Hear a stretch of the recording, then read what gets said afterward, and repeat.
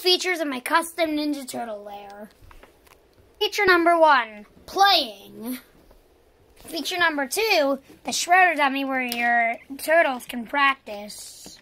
Feature number three, tiger swing where your characters can just hang around. Feature number four, the living room with a TV, this little plant display, this little um, beanbag chair, and the couch, and this little table. Feature number five, the skate park.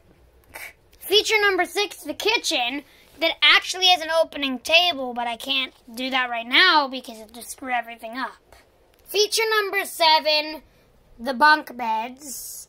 Feature number eight, Donatello's lab that contains a computer, real slime, um, this slime thingy, this mutagen container, this little Krang from Ninja Turtles, some machine, a brain, um, like a beaker, and a robot. Feature number nine, where um the battle area where your characters can battle. Feature number ten. One. Feature number ten, the balcony.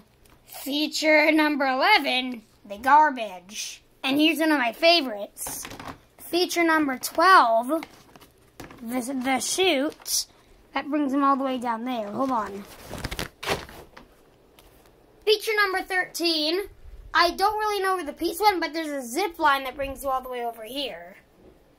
Feature number 14. Um, Splinter's room where you cannot really do anything. Just get Splinter to sleep. Feature number 15.